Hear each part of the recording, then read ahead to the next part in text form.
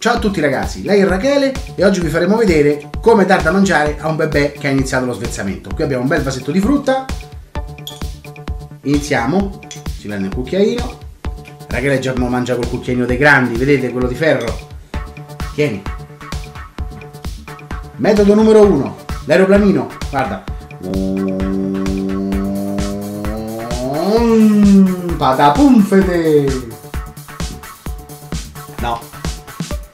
Poi c'è il metodo dello scherzo. Rachele, guarda, guarda, guarda, guarda. Eccola, brava! E questo, questo è un altro metodo.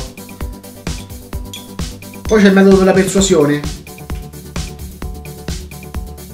Metter, mettersi fissi qui davanti e infilare, ecco. Poi c'è il metodo della prova, perché loro si fidano di noi, i genitori, quindi noi prima lo assaggiamo. Rachele, guarda. Ecco qua. Mmm, buono. Ancora.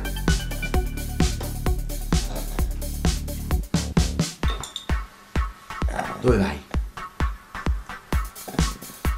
Poi c'è il metodo degli animaletti. Rachele, come fa il gattino? Miau, miau. Lei ride e voi inserite.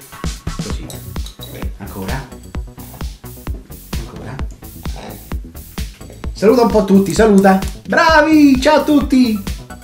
Ciao youtubers. Saluta. Saluta tutti. Ciao, ciao. È brava Rachele? Sei brava? Ciao, ciao, ciao a tutti, ciao. Ciao, ciao. Ancora. Mm.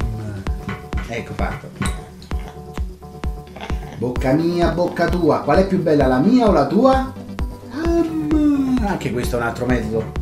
Poi quando hanno fame si sporgono loro, come in questo caso. Ecco, questo è un altro metodo. Mi fate leccare direttamente il tappo. Com'è? È buono! E alla fine, come premio, un bel biscottino. Qui abbiamo preso soltanto un pezzettino perché è già rotto. Ehi. Che fai? Mi ha rubato il bel biscottino.